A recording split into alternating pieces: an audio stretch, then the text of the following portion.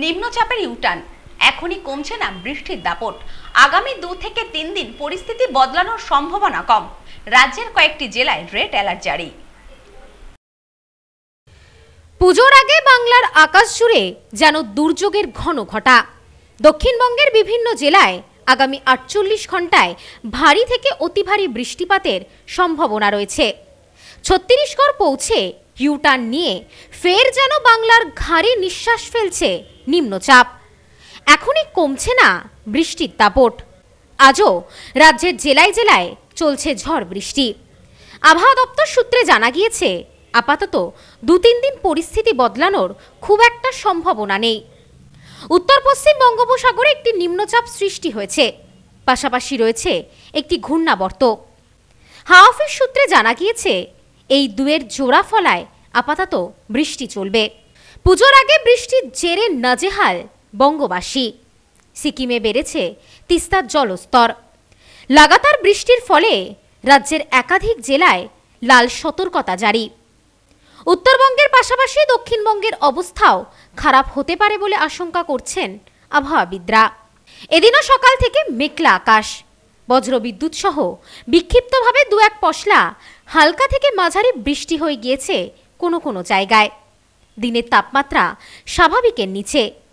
তবে হাওয়া অফিস সূত্রে জানা গিয়েছে, বৃহস্পতিবারের পর থেকে আবহাওয়া পরিবর্তন হওয়ার সম্ভাবনা রয়েছে। কমতে পারে বৃষ্টিপাতও।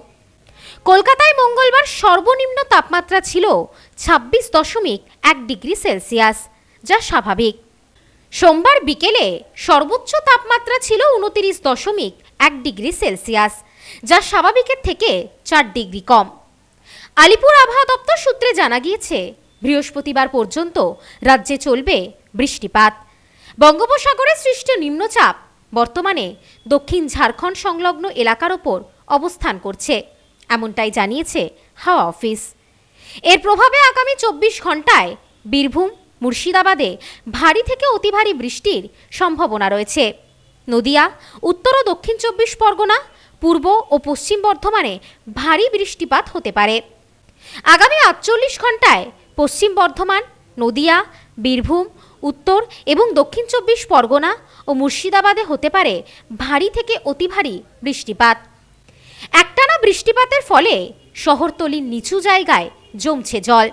যার কারণে সমস্যায় পড়ছেন সকলেই। আবহাওয়ার অবস্থা খারাপ থাকার কারণে মৎস্যজীবীদের গভীর সমুদ্রে যাওয়ার নিষেধাজ্ঞা জারি করেছে হাওয়া অফিস। সেই সাথে উত্তরবঙ্গে শুরু হয়েছে ভারী থেকে অতি ভারী বৃষ্টিপাত। পাশাপাশি বেশ কয়েকটি জেলাতে দুর্যোগপূর্ণ আবহাওয়া থাকবে বলে মনে করছে হাওয়া অফিস। মালদাহ, দার্জিলিং কোচবিহার, কালিম্পং সহ বেশ কয়েকটি জেলায় আগামীকাল ভারী থেকে অতি ভারী বৃষ্টিপাতের সম্ভাবনা রয়েছে। সিকিমে আকাশভাঙা বৃষ্টির কারণে বেড়েছে তিস্তার জলস্তর। এদিন গজলডোবা জলাধার থেকে সাম্প্রতিককালের হিসেবে রেকর্ড পরিমাণ জল ছাড়া হয়, যার ফলে এলাকার বেশ কিছু জায়গা প্লাবিত হওয়ার আশঙ্কা রয়েছে। ইতিমধ্যেই প্রশাসনের পক্ষ থেকে সাধারণ বাসিন্দাদের সরানোর কাজ শুরু হয়েছে। তবে শনিবারের পর থেকে দুই বঙ্গে আবহাওয়ার পরিবর্তন হতে পারে বলে জানিয়েছে হাওয়া office. Bureau report, news no man's land বর্ষপূর্তি উপলক্ষে আদি মোহিনী গান্ধীলালের বনগা শাখায় রয়েছে যে কোনো কেনাকাটায় আকর্ষণীয় ছাড় তোমাদের জানাই সাদর আমন্ত্রণ।